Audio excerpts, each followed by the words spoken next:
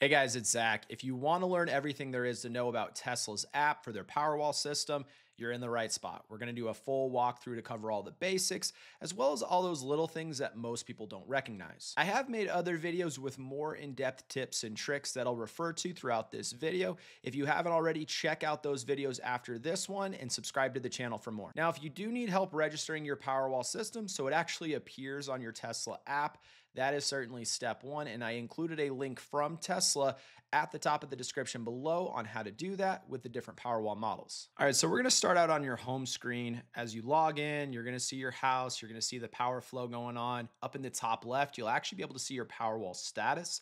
It's either going to be in standby, discharging, charging, or off grid. Standby isn't bad. I always get asked that. It just means that your battery is either fully charged, fully discharged down to that backup reserve, or it's just waiting to be used for peak hours if you are on that time-based control. You can also edit your home name by pressing and holding the name where it usually says my home up at the top left of the screen. On the front, you're gonna be able to view your home's live power flow. You're gonna have solar, home, Powerwall, and then the grid. You can also view the color-coded power flow of your home and see where the electricity is flowing.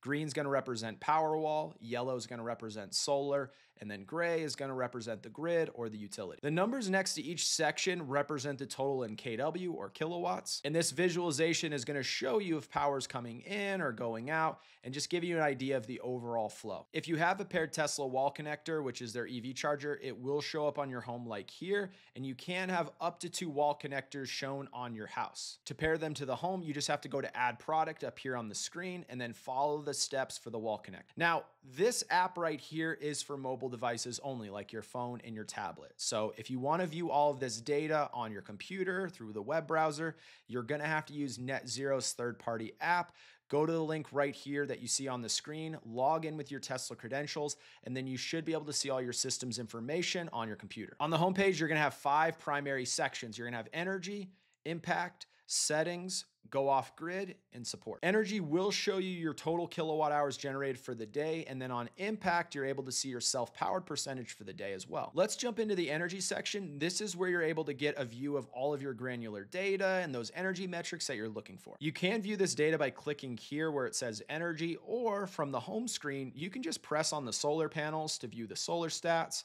the Powerwall to view your Powerwall stats. You get the idea. Then you can just jump directly into whatever energy graph or energy section that you're looking for. At the top of the screen, when you're in the energy graph, you can see which section you're on. The name is going to be right there. And then you can also toggle the different sections by selecting that correlating icon at the bottom of the screen. You're going to have your home icon all the way to the far left, which shows your home's energy consumption. If you have a paired Tesla vehicle, you're going to see a vehicle, and that's going to have all of your vehicle's energy stats.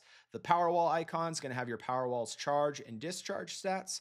The solar icon is going to have your solar generation, and then the grid in the bottom right side of the screen is going to have all of your grid imports and your exports. So basically energy going to the grid and coming from the grid. It's going to show you your overall grid dependence. Toward the top right, you can filter through any date range that you'd like, including a custom range. So you're not stuck with all of the presets. You can also swipe back and forth on the chart to view past days, months, years, and so on. I do find this most helpful when scrubbing through past days to see what happened on that day and the entire energy breakdown. If you long press and hold and then scrub on the screen, so drag your finger back and forth left or right, you can actually scrub through all of this data and see what happened on any individual day, month, throughout the year, or even each individual five minute increment for that day. You can do this for any of the energy categories that we've discussed so far. So whether it's home, Powerwall, solar, you can view all of the little details that we're looking at right here. If you do click the three dots at the top right of the screen, you can also download the data for that date range and that energy category. And it's gonna download in a CSV spreadsheet, Excel type file. And then that way, if you're looking for something really specific, like I said, maybe a billing period, you can actually download the data for that and then compare it against the numbers that you're looking at to see your actual metrics, your actual system performance. And it just, again, gives you more details if you're looking for something like that. This is probably most useful over over a longer time range, like a month, a quarter, a year, or a lifetime. If you have a Tesla EV charger paired to the app, you can also see your EV charging history right here. So you have all of your past charging events, when they were, how long, and how much energy they used. On the charts right here, you will be able to put on a color filter on the data to see a quick breakdown of the energy splits. Again, green is for Powerwall, yellow is for solar, gray is for the grid, blue is for home, and then if you have a paired Tesla vehicle, red will represent the vehicle. Starting on home, you can see your home's energy consumption up in the top left and get a quick stat on the total kilowatt hours consumed. On this day view, you're also going to be able to see a timeline from 12 a.m. until 11:59 p.m., giving you a full breakdown of what's happening when. The color splits here will be a breakdown of how much was used from the Powerwall, the solar, and then the grid. If you can't see these colors and it's just blue for whatever reason, just click that eyeball right here and it's gonna turn the filter on or off. You can also press Powerwall or solar or any of these and it'll highlight the data on the chart. All of these filters work the exact same on any of the energy categories and sections that we're talking about. Jumping into the Powerwall view, you can view your discharge and charge stats as well as when it's happening throughout the day. My favorite part of this graph is being able to see when my Powerwall system hits the backup reserve, which for me is 10%, and then when it hits 100%. So it gives you the exact time of when these events are happening. It just really gives you a good idea of your battery's charging and discharging patterns. On the solar chart, you can view your generation bell curve and all of the stats in terms of kilowatt hours generated for that date range. That's gonna be up there in the top left of the screen. Same as before, you can see the splits in terms of where that energy is going. Is it going to the home? Is it going to the Powerwall? Or is it being exported out to the grid? Solar is probably the chart that people will use the most frequently, especially when looking at their total generation for their system over a month or a year. On the grid section, you can view your energy imported or consumed from the grid, and then the energy exported, which means energy sold back to the utility. You'll also be able to see when that's happening and then what your net usage was for that date range. It's gonna be right here in the middle part of the screen. If you scroll all the way to the bottom, you're able to see the cost of energy on the buy side, how much you pay to buy that electricity, and then also on the sell side, which is how much you get paid to sell it back to the utility throughout the day. Let's go back to the home screen and jump into the impact section. And if you are enjoying these videos so far, do me a huge favor, drop a like if you haven't already and subscribe to the channel for more. I really do appreciate it. Now in this impact section, there's some cool data, but it's more nice to know information rather than need to know information. I recommend switching the time frame up here in the top right section to anything but the day view. That way you're seeing these metrics right here like self-powered and savings on a little bit longer time horizon. I personally like the month view. You can see your self-powered percentage and how much of each power resource your consumption came from. The higher this percentage is, the better. It will also show you the projected savings based on your utilities rate plan that you set up. And then you're gonna have your solar offset, which is all of your energy generated from your solar panels compared against all of the energy consumed from your home during this time frame. And at the bottom, you're going to have all of your backup events, when the grid went out, how long they were, when they occurred, all of that information. So back to the home view we go. Let's take a look at settings. And this is going to be a simple version of settings. I'm not going to walk you through all the nitty gritty of everything. If you want to watch a more in depth version of going through and setting up all of the settings within the Tesla app, please, please refer to a video I put together a few months ago. It's going to be linked at the top of the description below. That is a very important video to watch, especially if you are new to your Tesla Powerwall system and you're just learning this app. So starting with settings and then Powerwall right here at the top of the screen, let's talk about backup reserve. Now, backup reserve is the energy reserve that you're going to save for your Powerwall each day. Your battery will not discharge below this percent unless there's a grid outage. So do not make the mistake of setting this number too high unless you only want to use the Powerwall for outages. This is one of two major mistakes that I see homeowners make right here in this settings section that really kills their system performance. I recommend a 10 to 20% backup reserve unless you're really concerned with random power outages. If you are worried about outages and maybe you get more frequent outages than others, I do recommend erring a little bit on the higher side so that way you do have enough energy to get yourself through a short evening until the sun comes back out and recharges your battery. If you want to use the most out of your battery each day, I recommend going lower. I keep it at 10%, but don't baby your battery. You bought it to use it, so do that. All right, now operational mode. This one's simple. Go with self powered if you want to prioritize energy independence and reducing your overall grid usage. Or if you just have one flat rate for electricity throughout the day, so you don't have any time of use rate plan and the cost of energy is the same no matter when you consume it. Now, time based control is good for anyone on a time of use rate plan. So, California, Arizona, Texas, several other states throughout the US, but you will want to properly set up your rate plan accurately Otherwise, this isn't going to work out well for you. We will talk about setting up your rate plan here in a second. Now, I mentioned I see two major mistakes made by homeowners on the app that kill system performance. And here is number two permission to export. Turn it to yes. You need to mark permission to export on once you get permission to operate from your utility company. If you leave it in the no position, your system will only produce as much solar energy as the home or the battery can handle. But do keep in mind by marking yes, you do need utility approval to turn the system on to toggle this. So if you just got installed, you haven't gotten permission to operate from your utility yet, leave it in the no position, but do not forget to do this. Once you do get that permission to operate, flip it to yes. Again, I can't stress this enough. Do not forget this step. So permission to export, yes. Grid charging, yes or no. If you're not sure, just mark it no. You might even have this disabled by your installer, depending on if it's allowed by your utility. And then automatic backup, select auto.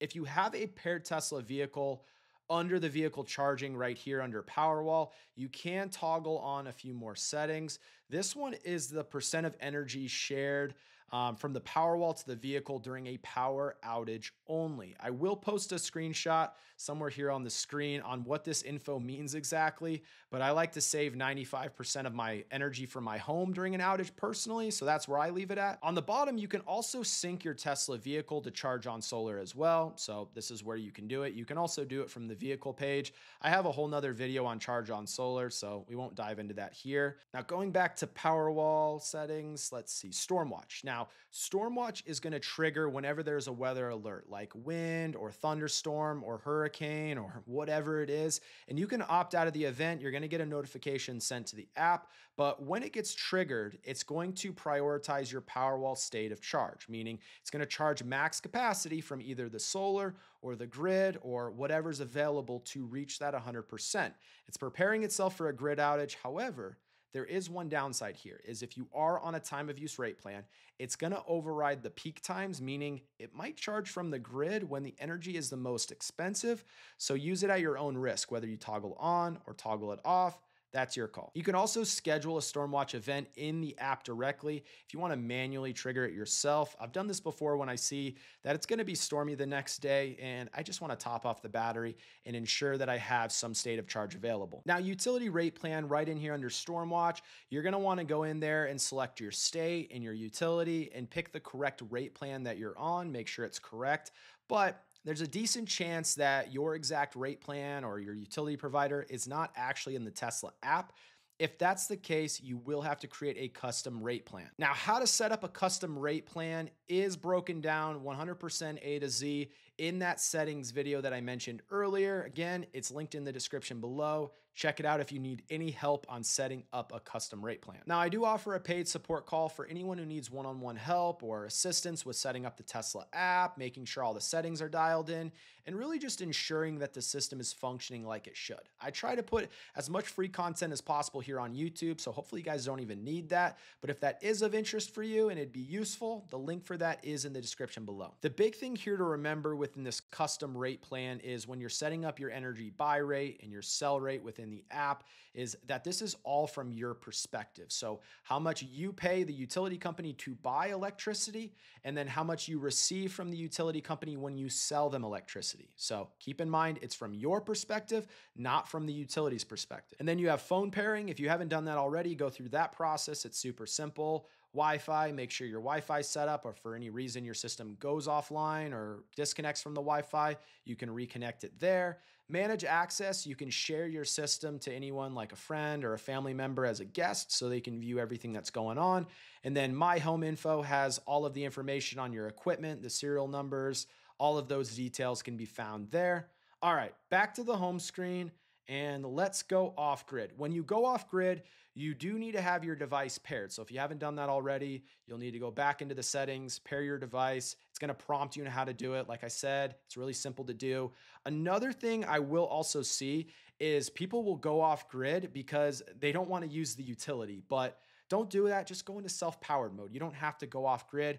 Off grid is just a virtual simulation. It's fun to do, it's a cool little party trick, but it's not a mode that you guys should be using each and every day. And the main reason for this is when you go off grid, your system won't export, it won't overproduce. Your solar panels will only generate enough electricity to either power your house or charge your battery. So if the battery's already charged, the solar is going to be throttled down to only produce enough electricity to cover your needs, meaning it will not export back to the utility. So if you just want to reduce your grid dependence and use less of the utility's electricity, don't go off grid, just put it in self powered mode under the operating control. Now, when you go off grid or you have an actual grid outage, you're gonna get a notification sent to the app letting you know, hey, your home is off grid, there was a power outage. And then when you open up the app, you're gonna see it says top left, you're off grid. And then there's also going to be a little red X or orange X right there in the middle of the screen, letting you know that you're disconnected from the utility. Additionally, you are able to view the projected remaining backup hours right up here in the top left. However,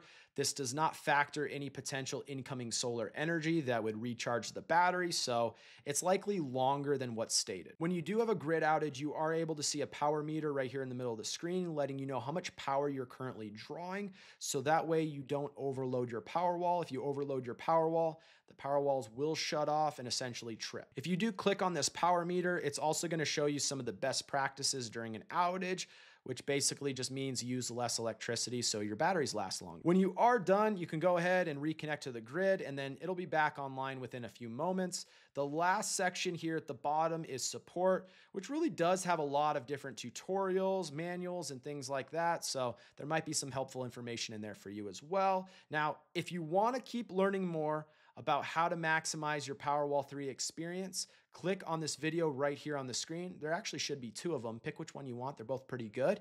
Thanks for watching, and we'll talk next time.